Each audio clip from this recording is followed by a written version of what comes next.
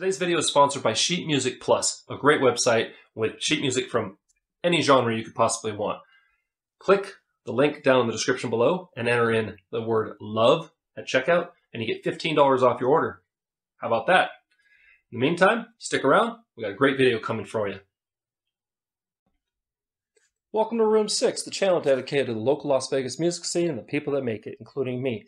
I'm Josh, and today is the fifth and final installment in a series of videos aimed at new musicians buying their first musical instrument. To see other videos like this, click up here. Today's video is about buying your first drum kit, whether acoustic or electronic. Drums provide the backbone of any musical group and can dynamically affect how your group's sound and music is perceived. Hope you like making noise, because here comes the boom.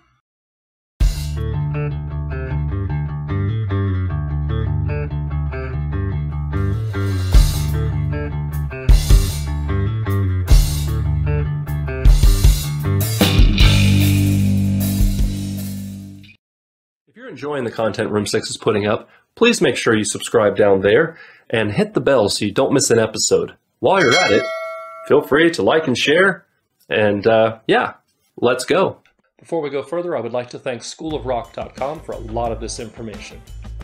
Shopping for a beginner drum set is complicated. Depends on how you're going to use it. You got to figure out how, you know, the age of the drummer. How eager are they willing to learn? Where, where and when are they to practice? And what's your budget? Unlike most other instruments, drums can be arranged in different ways and customized to the drummer's style or preferences. A beginning drummer's kit should look quite different from a veteran drummer's. A kit for a beginning drummer should provide what they need to build fundamental skills without adding in hardware or pieces that only distract the student. Here's what to look for when buying drums. If cost is your main concern and you're shopping for a young kid, you can find something inexpensive for them to bang around on. The least expensive option is an all-inclusive bundle, but you'll want to verify what's included in the package. A drum set needs shells, the actual drums, cymbal stands, cymbals, bass, drum pedal, and a throne to be fully functional. Make sure to try out any kit before you buy it so that you make sure you reach everything and that size isn't a problem. But buying drums should always be done in person. Even if it's advertised online, you gotta go and try it out. If you're trying to decide between multiple kits, you should listen to them being played at full force. And if you're a beginner, feel free to ask the salesperson to give it a whirl. Make sure you compare the overall tone on the kits that you're trying to choose from, and uh, think about your preferred style of music that you're going to be playing as well. Now with drum kits, you'll likely be buying the one that's on display, so inspect it closely for any damaged heads, cracked cymbals, or scratches in the wood or finish of the drum shells. What exactly makes up a drum kit? There's many elements, and the main categories are drums, cymbals, and hardware. There's three main types of cymbals, crash, ride, and hi-hats, but there's a slew of other ones crash cymbals are used to accent songs, while the ride cymbal tends to be a large, thick cymbal that produces a bell-like tone.